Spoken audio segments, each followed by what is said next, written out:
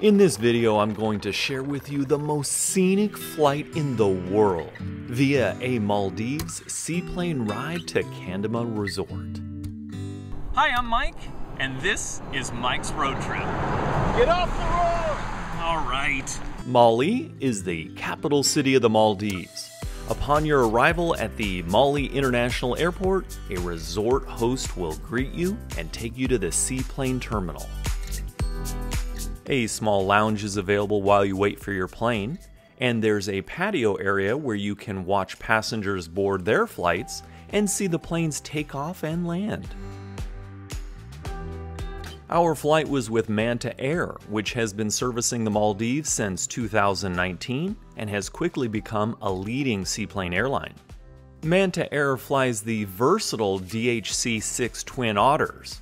This twin engine turbine powered aircraft is ideally suited to operate in tropical island destinations like the Maldives. This seaplane seats just 15 passengers with three crew members and has a range of just over 800 miles with a cruising speed of 170 miles per hour. The Maldivian archipelago has nearly 1,200 coral atoll islands, only 200 of which are inhabited or have resorts. Many of the islands are encircled by beautiful lagoons with magnificent beaches and crystal clear blue water. The Maldives is fantastic for snorkeling and scuba diving. These waters are a kaleidoscope of colorful coral, fish, and sea life. The Manta Air seaplane pilots are some of the best paid pilots in the world because so few have been trained to fly this type of aircraft. Despite their casual appearance, these pilots are highly trained and very professional. The cockpit is fully open, allowing passengers to see the pilot's view and all the instrumentation. Flight time from Malé to the Kandima Resort is about 40 minutes. The landing is so smooth you barely feel the touchdown on the surface of the water.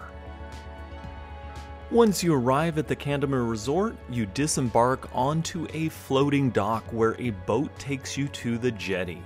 The planes do not go ashore due to the shallow water and to protect the coral reefs. From the jetty, passengers walk to the lobby and check in for an experience of a lifetime. Kandima is one of the largest resort islands in the Maldives, complete with aqua villas, fantastic food, and lots of fun water sports. If you'd like to know what it's like to stay at the Kandima Resort, click the video on the screen or the link in the description box. Well, that's a look at what it's like to take one of the most scenic flights in the world on a seaplane to the Maldives. Well, thanks so much for watching. If you have any questions at all, please leave a comment below. So until next time, we'll see you on the road.